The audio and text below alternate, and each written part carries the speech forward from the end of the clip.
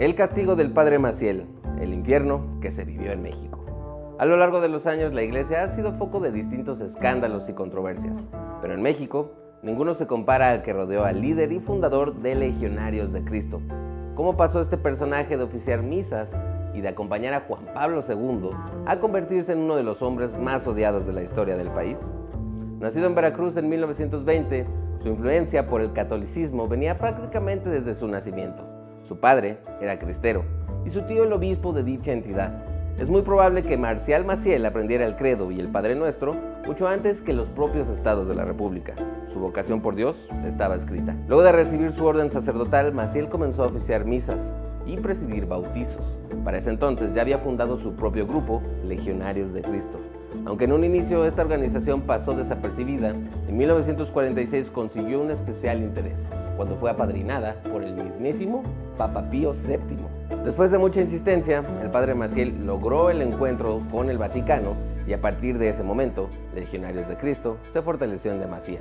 Pasaron años, décadas. Algunos comenzaron a sospechar que la organización recibía dinero de manera ilícita, pero ese escándalo estaba lejos de equipararse con lo que se venía. En 1994, el padre Maciel, orgulloso, leyó una carta escrita por el recordado Juan Pablo II, en la que lo felicitaba por su labor.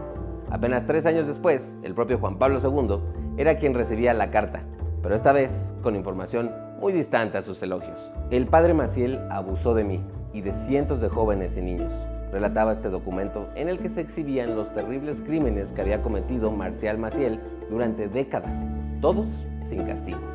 El padre Maciel les decía a sus víctimas que estaba enfermo y que luego les explicaba un extraño método para curarlo. Los detalles salen sobrando. La iglesia mantuvo a discreción el tema mientras se llevaban a cabo las investigaciones.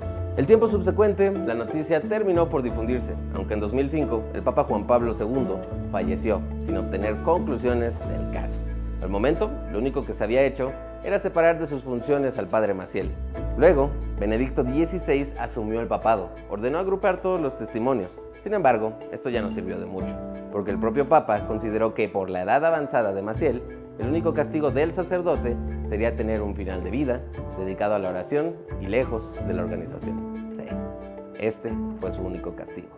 El padre Maciel falleció el 30 de enero de 2008, a los 87 años, luego de autoexiliarse a Estados Unidos.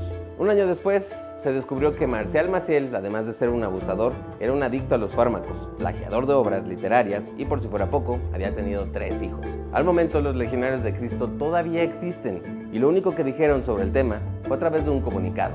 Hemos ido conociendo progresivamente, con sorpresa y con gran dolor, aspectos ocultos de la vida del padre Maciel. Después de ese documento, el caso de esta huella del pasado se cerró.